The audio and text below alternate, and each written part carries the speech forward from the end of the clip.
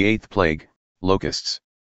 Then the Lord said to Moses, Go into Pharaoh, for I have hardened his heart and the heart of his servants, that I may show these signs of mine among them. And that you may tell in the hearing of your son and of your grandson how I have dealt harshly with the Egyptians and what signs I have done among them, that you may know that I am the Lord. So Moses and Aaron went into Pharaoh and said to him, Thus says the Lord, the God of the Hebrews, How long will you refuse to humble yourself before me? Let my people go, that they may serve me. For if you refuse to let my people go, behold, tomorrow I will bring locusts into your country. And they shall cover the face of the land, so that no one can see the land.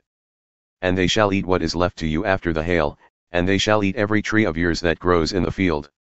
And they shall fill your houses and the houses of all your servants and of all the Egyptians, as neither your fathers nor your grandfathers have seen, from the day they came on earth to this day.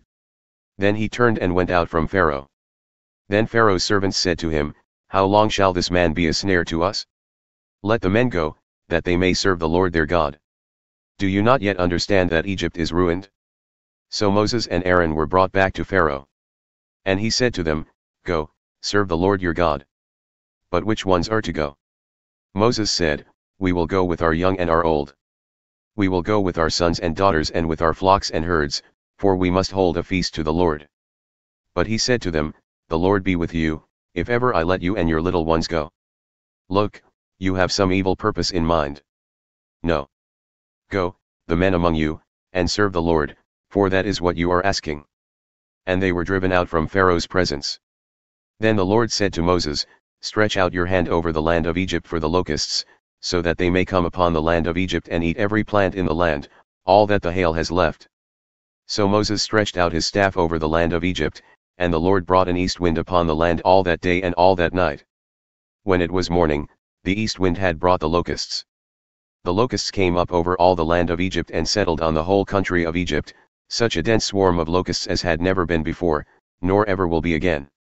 They covered the face of the whole land, so that the land was darkened, and they ate all the plants in the land and all the fruit of the trees that the hail had left. Not a green thing remained, neither tree nor plant of the field, through all the land of Egypt. Then Pharaoh hastily called Moses and Aaron and said, I have sinned against the Lord your God, and against you. Now therefore, forgive my sin, please, only this once, and plead with the Lord your God only to remove this death from me. So he went out from Pharaoh and pleaded with the Lord. And the Lord turned the wind into a very strong west wind, which lifted the locusts and drove them into the Red Sea. Not a single locust was left in all the country of Egypt. But the Lord hardened Pharaoh's heart, and he did not let the people of Israel go. The ninth plague, darkness. Then the Lord said to Moses, Stretch out your hand toward heaven, that there may be darkness over the land of Egypt, a darkness to be felt. So Moses stretched out his hand toward heaven, and there was pitch darkness in all the land of Egypt three days. They did not see one another, nor did anyone rise from his place for three days, but all the people of Israel had light where they lived.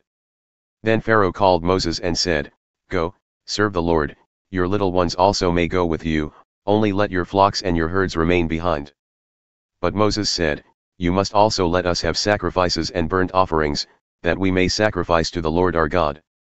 Our livestock also must go with us, not a hoof shall be left behind, for we must take of them to serve the Lord our God, and we do not know with what we must serve the Lord until we arrive there. But the Lord hardened Pharaoh's heart, and he would not let them go.